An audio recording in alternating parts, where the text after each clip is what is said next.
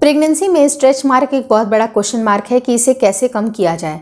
आज का एक ऐसा टिप मैं बताऊँगी जो कि मेरा खुद ट्राइड एंड टेस्टेड है और इसके इतने इफ़ेक्टिव रिज़ल्ट आए हैं जिसकी कल्पना भी आप नहीं कर सकते हैं। बहुत सारे लोगों को ये पता होगा कि मेरी ट्विन प्रेगनेंसी हुई थी तो ट्विन प्रेगनेंसी आपकी सिंगल प्रेगनेंसी से थोड़ी सी ज़्यादा होती है। पेट का जो स्ट्रेच का लेवल होता है वो भी बढ़ता है।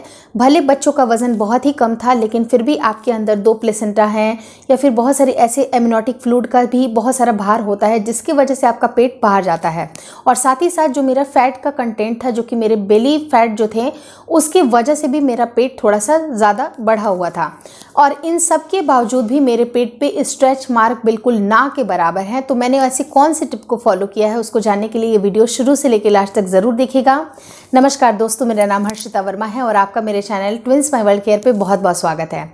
आज मैं आपको स्ट्रेच मार्क दूर करने के ऐसे बेसिक एकदम आसान से नुस्खे बताऊँगी, जिसको अगर आपने प्रेगनेंसी के दौरान, जब से अगर आप प्रेग्नेंट होते हैं, फ़र्स्ट ट्राइमेस्टर तो आपको यूँ ही निकल जाने दीजिए, लेकिन सेकंड ट्राइमेस्टर से लेके आपको लास्ट टाइम तक, जब तक आपकी डिलीवरी नहीं हो जाती है, तब तक डेली बेसिस पे आपको ये काम ज़रूर करना है। बिल्कुल स्किप किए बगैर और आप देखिएगा कि आपको स्ट्रेच मार्क बहुत ही कम, बहुत ही कम। मैं एकदम से 100 परसेंट तो नहीं बोलूँगी, लेकिन 99.9999 परसेंट तक आपका ये कम हो जाएगा।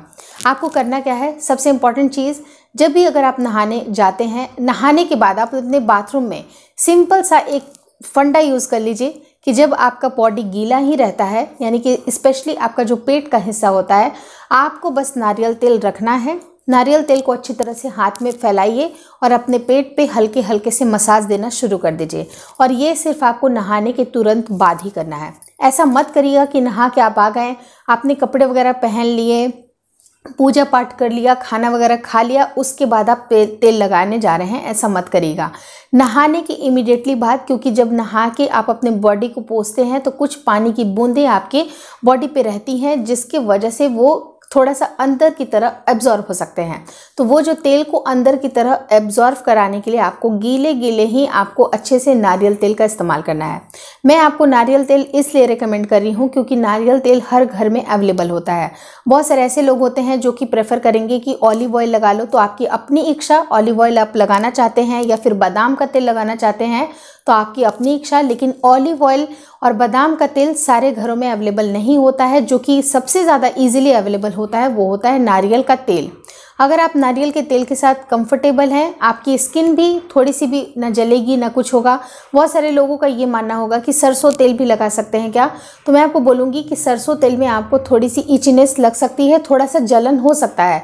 लेकिन नारियल तेल परफेक्ट होता है इस काम के लिए तो आपको बस हाथ में फैलाना है और जब अगर आपकी बॉडी गीली है, उस टाइम पे ही आपको अच्छी तरह से मसाज कर लेना है।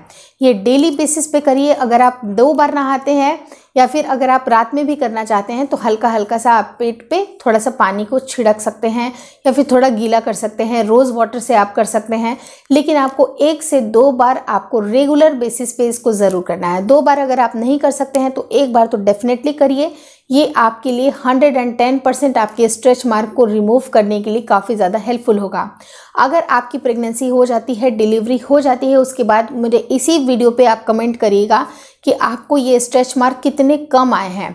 बिल्कुल मैंने जो आपको 99.9 परसेंट वाली जो बात बोली है, ये एकदम से सच है, इसको ज़रूर फॉलो करिएगा।